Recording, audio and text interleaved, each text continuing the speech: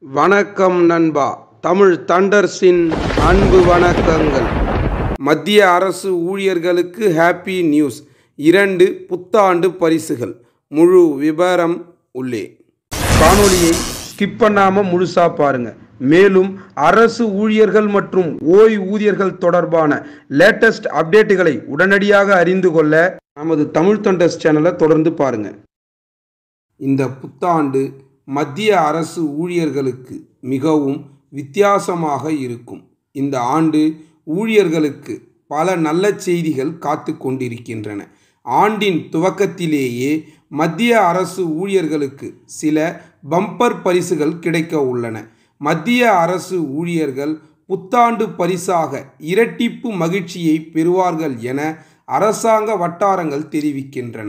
ஜனவரி முதல் ஜூன் அரையாண்டு வரையிலான அகவிலைப்படி அதிகரிப்பு நான்கு முதல் ஐந்து சதவீதம் வரை இருக்கலாம் என ஊடக அறிக்கைகள் தெரிவிக்கின்றன.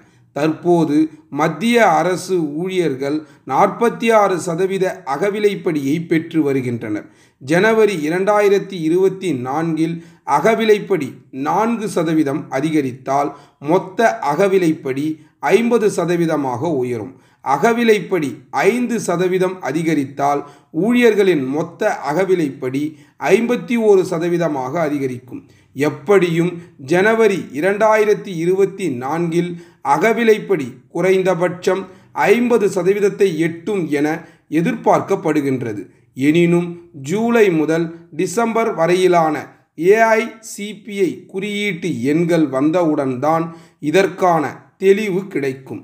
மத்திய அரசு ஊழியர்களின் அகவிலைப்படி ஐம்பது சதவீதத்திற்கு மேல் போனால் வீட்டு வாடகை கொடுப்பனவு. அதாவது ஹெச்ஆர்ஏ திருத்தப்படும். ஏழாவது ஊதிய குழுவின் பரிந்துரைகளின்படி அகவிலைப்படி ஐம்பது சதவீதத்தை தாண்டும் போது ஹெச்ஆர்ஏ திருத்தப்படும்.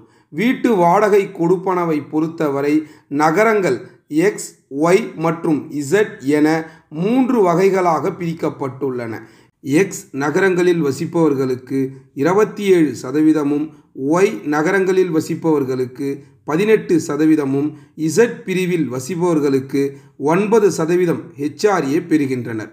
தற்போது ஹெச்ஆர்ஏ அதிகரித்தால் எக்ஸ் பிரிவில் வசிக்கும் மத்திய அரசு ஊழியர்களின் ஹெச்ஆர்ஏ முப்பது சதவீதமாக உயரும். இதேபோல் ஒய் பிரிவினருக்கான ஹெச்ஆர்ஏ இருபது சதவீதமாகவும் இசட் பிரிவினருக்கான ஹெச்ஆர்ஏ பத்து சதவீதமாகவும் அதிகரிக்கும்.